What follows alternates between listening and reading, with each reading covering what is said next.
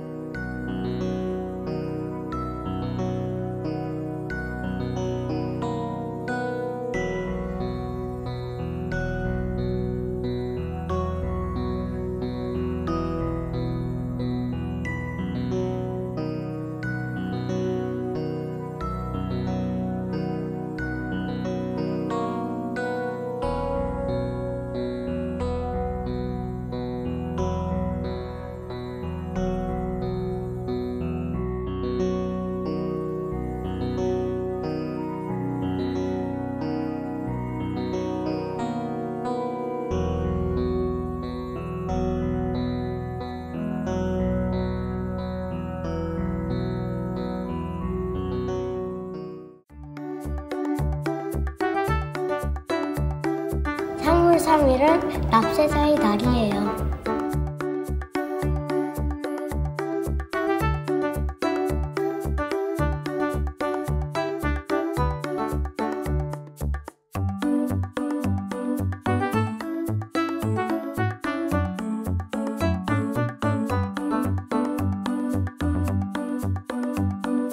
제가 만든 우주선이 생겼어요.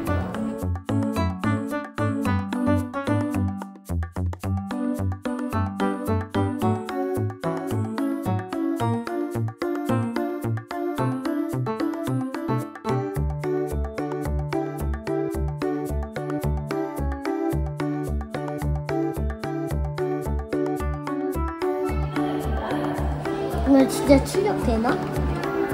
글쎄. 현금 영수증 카드를 받았어요. 사업자 등록증도 생겼어요.